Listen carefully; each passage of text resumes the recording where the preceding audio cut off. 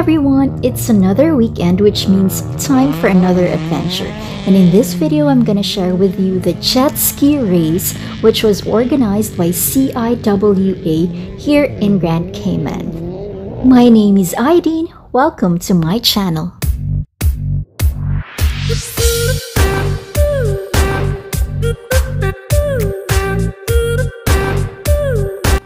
Well, of course, our weekend will not be complete if I'm not gonna share with you another favorite restaurant of ours. You will notice that there is an ongoing construction, so while the borders of the Cayman Islands are still closed, at least there are two sectors, the financial services and the construction industry, which are thriving since the tourism industry has been badly impacted by the pandemic.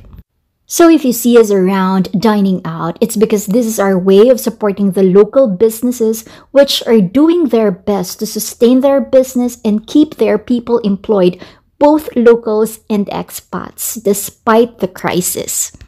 This is also the reason why as much as possible, I try to feature at least one or two restaurants in my vlogs so that when you get a chance to visit Grand Cayman soon, I hope you consider those establishments and others as the saying goes, we're all trying our best to put food on our table, so let's support one another. We are having our dinner here in a restaurant which serves different varieties of Asian cuisines from Vietnam, Thailand, China, Japan, Korea.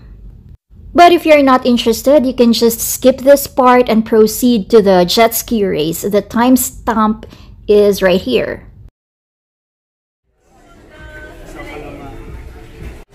What I am having is a Korean rice bowl called bibimbap. So it has egg, kimchi, beef, and vegetables.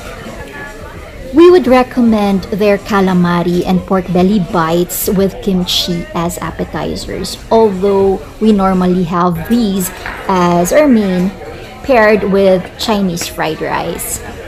By the way, I'd like to greet one of my subscribers, Miss Adeline Del Rosario.